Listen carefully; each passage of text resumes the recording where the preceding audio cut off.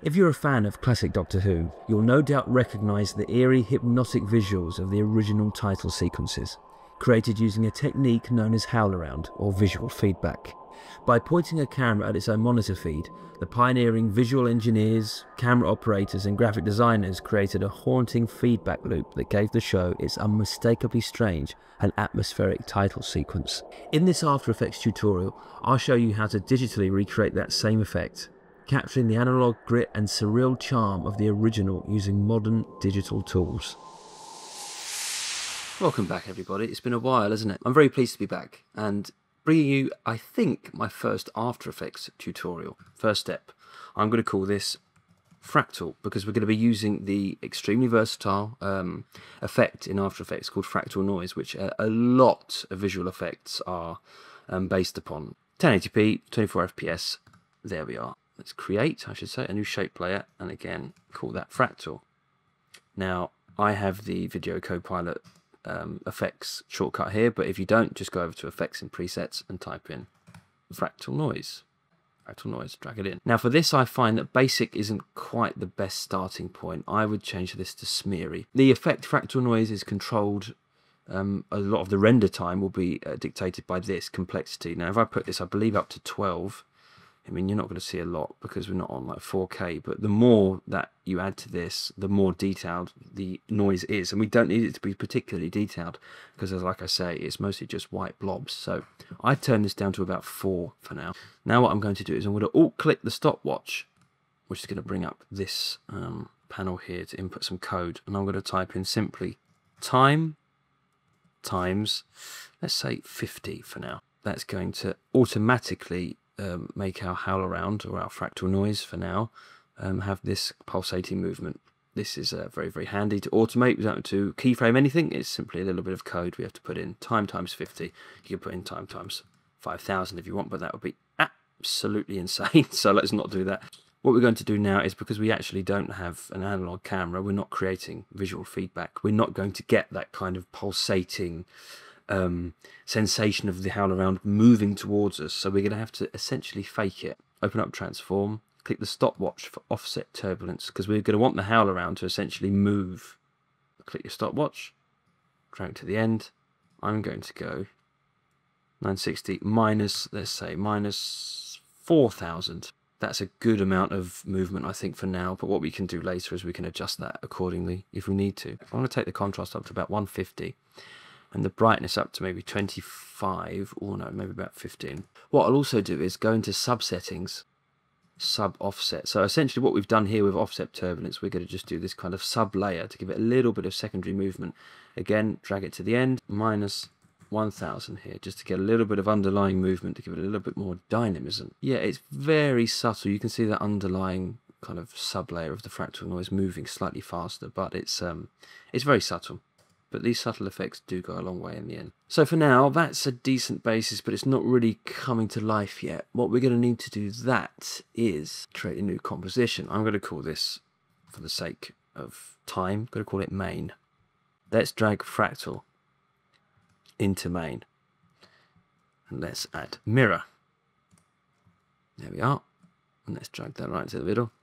960. Okay, you're going to gradually see it coming together. So the mirror here is going to give it that symmetry right down the middle of the frame, which is um, very similar to how a lot of the howl around was generated or treated in the original Doctor Who title sequences, and that was mainly to aid the appearance of the logo, because without the um, Howlaround being symmetrical, you wouldn't get this kind of uh, wonderful effect when the logo was flaring onto the screen.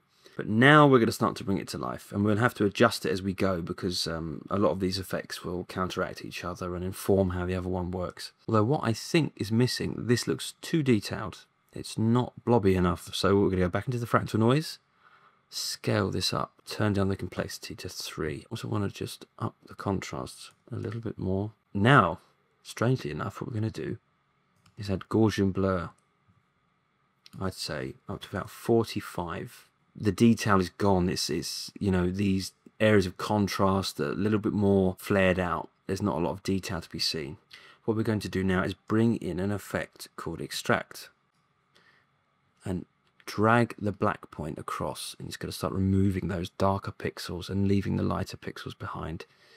I would say we take it to about 130 and black softness just to soften it ever so slightly. I'd say about five, say. We still have these areas of contrast. You can see you have this more white and then there's a little bit grey. So what we're going to do is add an effect, simple effect called fill. And what that will do is simply fill in all the visible pixels with a solid colour. In this case, just pure white. What I'm going to do now is add bulge, which will help just give that kind of push and pull. I'd increase that taper pretty high, honestly. We want it to be very subtle. We want it to feel more elastic. We don't want it to just be purely flat. You can see the way it moves out from the center, and that's getting there. What I'll do now is add CC lens, which mimics the uh, distortion caused by a camera lens, but in this case we're going to be using it to add a little bit more depth, kind of this pull at the very edge of the screen. Increase the size to 500, and you'll see if I turn it on and off, so I'll take that to about 400, just a little bit less, 240. Very nice. Okay, we're cooking with gas. Right, back to the fractal. I want to add a little bit more contrast. Let's try 200 and see what that does to us here. Okay, nice. Maybe 190. See, now it's all about adjustment. Let's actually take that complexity up to 4 and see. Nope. Nope, no, no, no, no. That movement that um, right to left movement he added earlier, that offset turbulence. Let's take off another 1500. Very good. What I'm going to do is add actually add a second bulge effect, really taper that. I mean really, really taper it. It needs to be very subtle. Very nice. Okay, right, so we're working with something that's looking pretty good, really.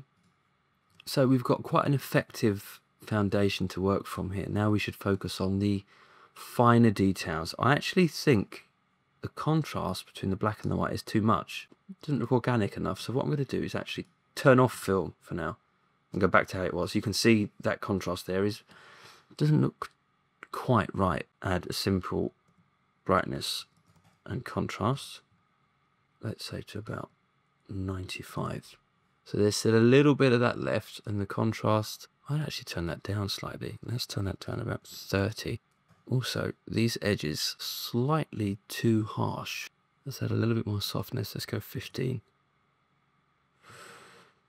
Yeah, actually, I think that looks slightly better. Oh yeah, definitely. Yeah, it has these kind of wisps at the end. It's not too um, too stark. Kind of false motion blur as well, which is nice, which is very um, evocative of that organic analog howl around. So let's actually, yeah, let's keep that softness because it was at 5. That's too much. Let's try 30. No, it's too much the other way. Let's go 15. Very nice.